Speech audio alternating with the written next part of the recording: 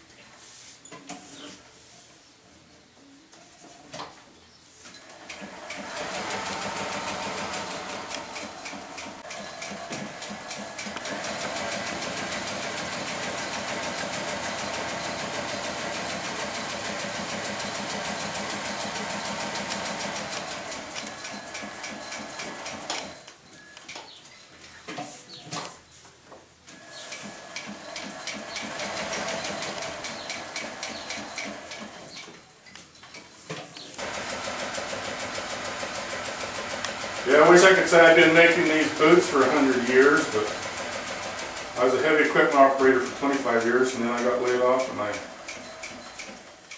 went to boot making school. I wish I'd went to the boot making school 20 years ago.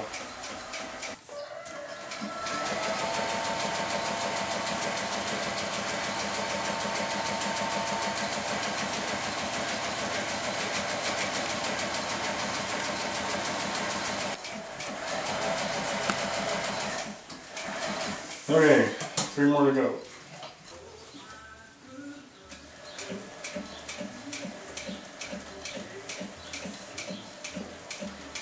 My artisan sewing machine here has a speed reducer on it.